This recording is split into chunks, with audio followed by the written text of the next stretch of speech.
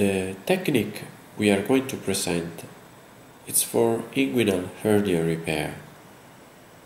It was developed by my father, Antonio Guarnieri, on December 1988. This technique has now a new variant developed by me on November 2009. The primary purpose of this technique is to modify the anatomy that breeds the hernia respecting the physiology. With this variant, we avoid the prosthetic material in most of patients. Have a nice vision.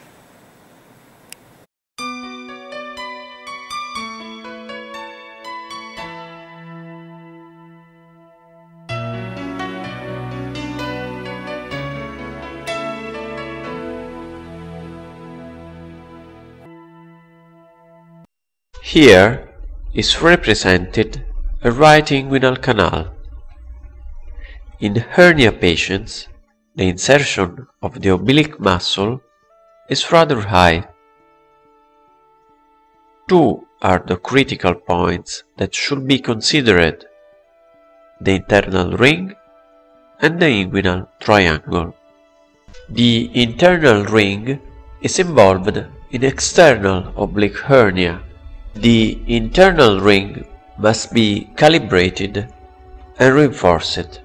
The inguinal triangle is involved in direct hernia.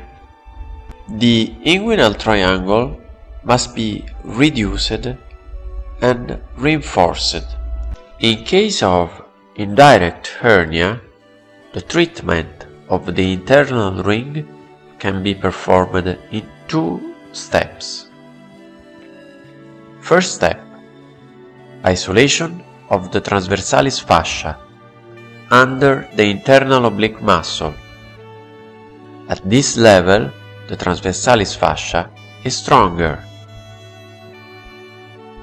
Second step The cremasteric fibers are incised medially and cranially to isolate the cord elements.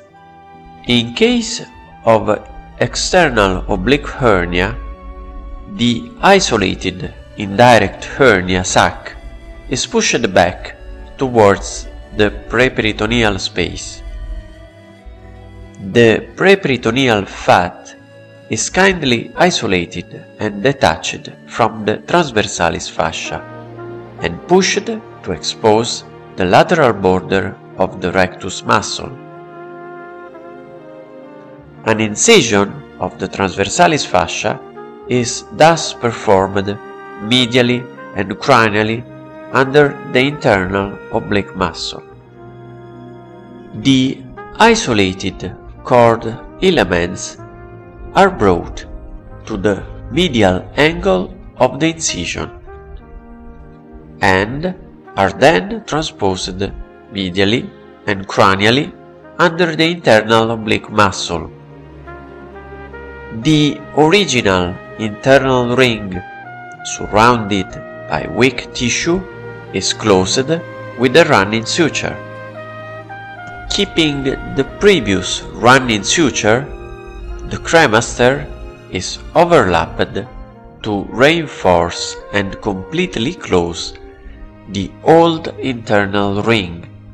The internal ring is now calibrated, reinforced and placed in a stronger area of the transversalis fascia under the internal oblique muscle.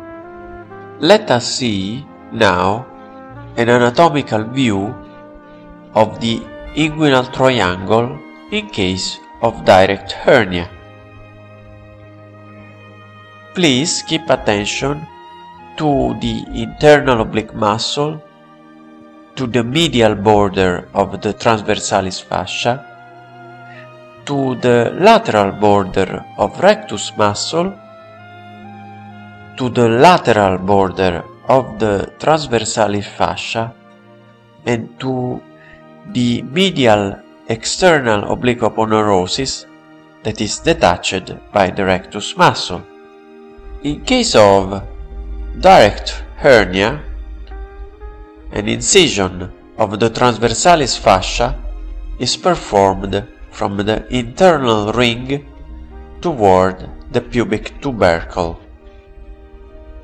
The preperitoneal fat is kindly pushed and detached from the lateral border of the rectus muscle and isolated from the transversalis fascia.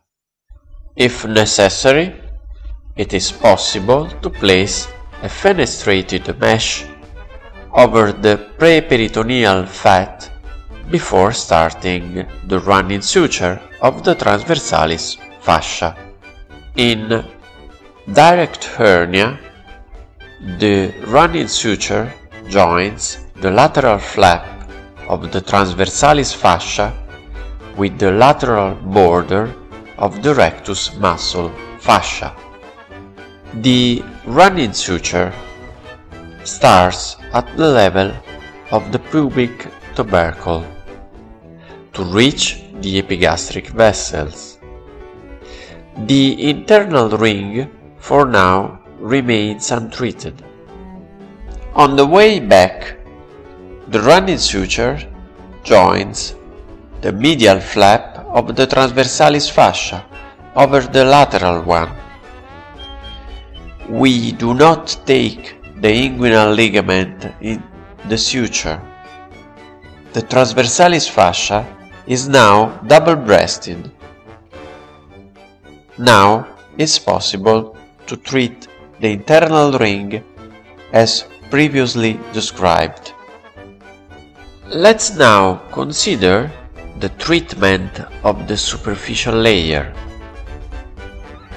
Please consider where is the internal oblique muscle located and the lateral flap of the external oblique aponeurosis. A running suture joins the lateral flap of the external oblique aponeurosis with the rectus muscle fascia. The suture starts from the point of inferior insertion of the internal oblique muscle toward the pubis. Please look at the arrows. At this level, a new external ring is performed. The remaining lateral flap of the external oblique aponeurosis is sutured over the spermatic cord. If necessary, a relaxing incision on the rectus muscle fascia can be performed to lateralize the rectus muscle and to reduce the size of the inguinal triangle. Please consider also the position of the double breast external oblique aponeurosis. Let us consider a new possibility the new variant. After performing the relaxing incision on the rectus muscle fascia, the fascia can be overturned and used as a biological prosthesis. The medial flap of the external oblique aponeurosis is sutured over the lateral one leaving space for the exit of the spermatic cord. In the new variant, the rectus muscle fascia is placed between the two external oblique layers, acting as a biological prosthesis and expanding the rectus muscle laterally. Let us see a section of the Guarnieri's classic technique. As you can see, the rectus muscle is on the right and the inguinal ligament on the left. Between them, we have four layers made by the overlapped external oblique aponeurosis and the overlapped transversalis fascia. In the new variant, the relaxing incision of the rectus muscle fascia expands the rectus muscle towards the inguinal ligament, reducing suture tension and reducing the passive area, the area without musculature, of the inguinal triangle. In the new variant, we have one more layer, the fifth layer, that is the overturned rectus muscle fascia. This way, we get the reinforcement of the inguinal triangle. The Guarnieri's new technical variant expands the rectus muscle, reinforce the inguinal triangle, reduce suture tension, reduce the extension of the inguinal triangle. Why to use this technical variant? According to the Laplace law of physics, we have to reduce and reinforce the inguinal triangle. With this new variant, we do not use any mesh for treating inguinal primary hernia. We have now a recurrence rate of 0.5%.